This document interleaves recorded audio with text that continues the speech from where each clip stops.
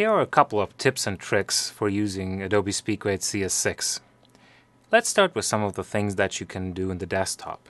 So, for one thing, if I have to really just go through a lot of material and really just see it, you might actually really just really scroll down here, but I just like to get an overview. And there are a couple of ways to get you there. So the one thing you could obviously do is just really scroll down here and come down with the thumbnail size.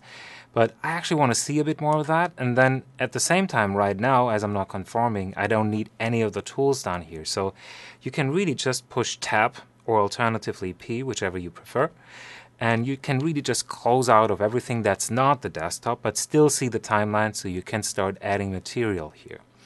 And then you can even go further up in the thumbnail size. The other thing that I really like is that I don't want to actually see anything but footage right now, as I'm really just starting to build grades for material that hasn't even been sent to editorial yet. So what I can do here in the pull down for selecting specific files for being viewed on the desktop, I for example can just say, uh, give me everything in raw files. You'll see that everything else that was in the folders that I'm looking at is now just really gone and not in my way anymore. And then it comes down to just seeing ARRI and R3D files. Now, as a matter of fact, if you already know that you only want to see the RAD files here, you can use the same methodology really just to say, show me the RAD files. Or eventually, you can also just use the wildcards if you prefer. And then this is going to give me the Alexa raw files that I have on my desktop here. And just really come back here and put in an asterisk to go back or select all view, whichever preference you have. So let me show you another thing that's quite handy, which is working with multiple resolutions alongside one timeline. So I'm going to use here a shot from an ARRI Alexa, which is a 3K, and this is a 4K from a Red Epic. And on the timeline, this is what's going to happen. If I go from the first shot, which is the 3K, to the second shot from the red, you're going to see that actually the image is now breathing. It's going up and down in size, and that's not necessarily nice to look at. For grading, it's just in the way because I'm not interested in the differences in resolution at this point in time. So here's what I can do. I'll bring back all the tools here just by clicking P. And there's something here in the timeline tab. If you go to the view section, you've got the screen layout tool here. And you can do a number of cool things with it, but the thing that is really best here is that I can keep width alongside everything in the timeline.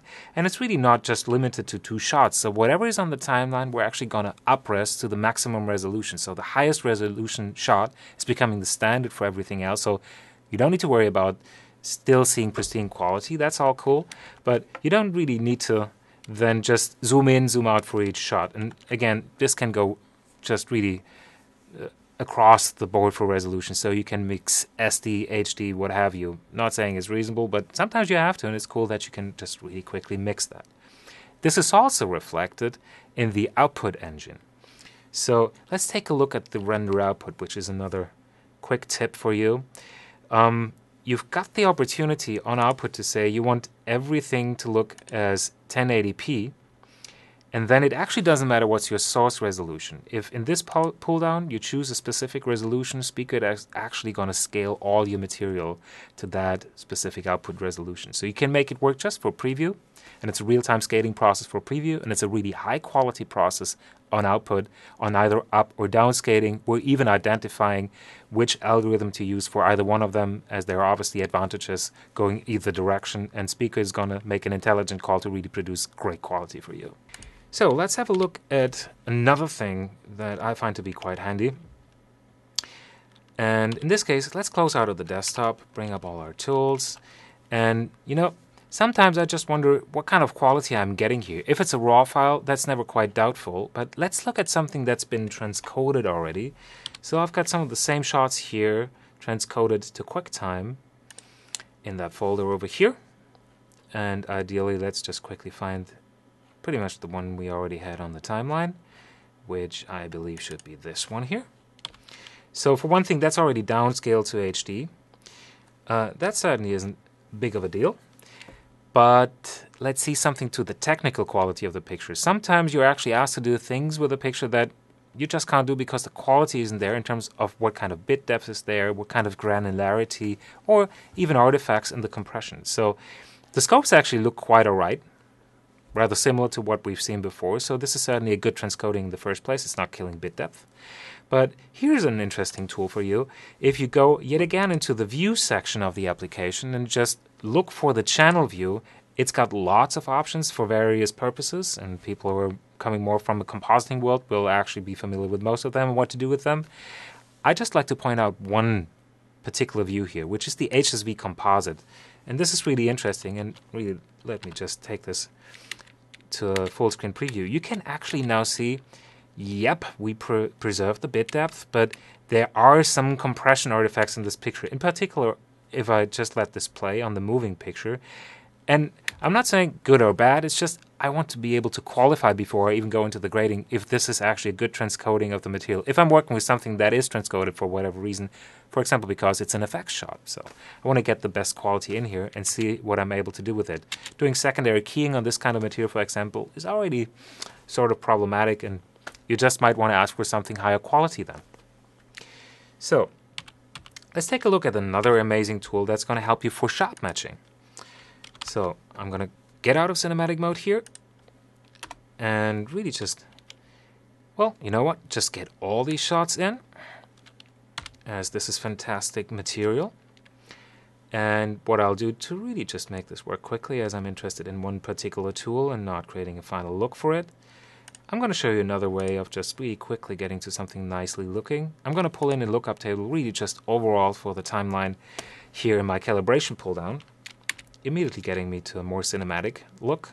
Now, color actually, at least for a lot of people that's true, color can be in the way if you just want to make sure that the light in all the scenes are controlled in really a similar fashion and you get to a result rather quickly. So I typically actually might want to start with balancing the shots a little bit.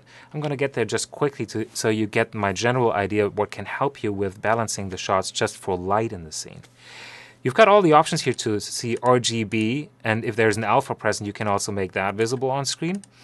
And that's also already helpful for seeing some of the imbalance here between the channels. But um, if you just click on Luma on the L here, then it's actually really super easy to see which scene actually needs you bring up the gamma or tone it down a bit. So again, I would probably actually balance them a little first, but then if you go to this pass, basically watching the material black and white, it's a hell lot easier to start doing shot matching for that particular purpose, really just controlling light in the scene, as you're not distracted by color, by saturation, whatever else there is. And it also will actually allow for you to see, once the light is controlled in the scene, if you come back then with full color view, if for the most part what's actually different is saturation, you're just getting more focused on really fixing that task, rather than uh, getting distracted by all the various things that are sort of mixing and blending. So yet another tool for helping you just look at your material in a different way to get you to identify what you need to be working with. Then something else is actually important to know. Uh, you've got this pull down here for um, what kind of magnification you want to use. Um, I typically actually love on a single screen layout to really just quickly on uh, click on here zoom to fit, which I had done already, but you also got hotkeys. And so I've got control shift home to give me pixel by pixel and control home to fit to whatever is available to me on the particular screen size I've chosen to work with.